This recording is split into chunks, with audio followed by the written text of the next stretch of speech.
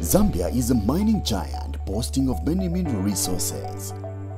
And to fully maximize on these, the Copperbelt University School of Mines and Mineral Sciences and the University of Zambia School of Mines holds the second national conference on geology, mining, metallurgy and groundwater resources under the theme Diversification and Value Addition in the 21st Century. Uh, here at the conference, one of uh, our objectives is basically to, to share our knowledge and experiences as well as uh, build capacity uh, through mineral resources education in Zambia. What we're saying is that we don't want to only focus on, say, copper or cobalt. No, we want to diversify to all the other, other metals and minerals. I know mining has been the major source of income for, for, for, for Zambia, the main source of foreign exchange for Zambia, but we can even improve further by uh, adding value to whatever we are producing, the copper we are producing. So we're saying to ourselves, we should be moving and looking at the opportunities that are created when you look going down the value chain.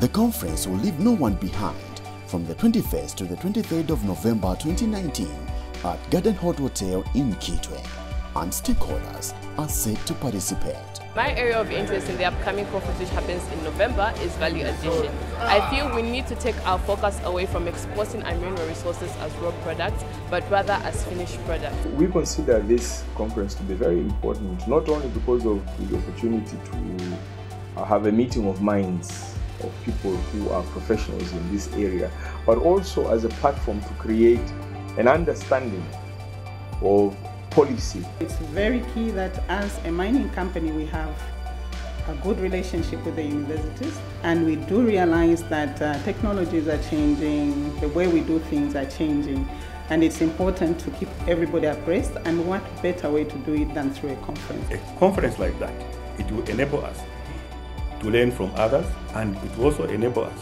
to teach others on the new uh, technology we might have acquired or the new technology which might have been uh, developed elsewhere. The conference will shape the future of mining activities in Zambia.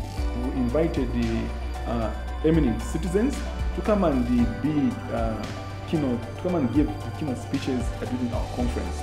Besides that, we've also got our own experts in the academia from the Copperbelt University as well as from the University of Zambia who will also be, who also be presenting uh, uh, papers over the research that we have done through, throughout the years. A number of broad themes have been lined up as follows geology, mining, metallurgy, groundwater resources, emerging issues, policy and sustainable management of mineral resources. Together for a better and prosperous Zambia.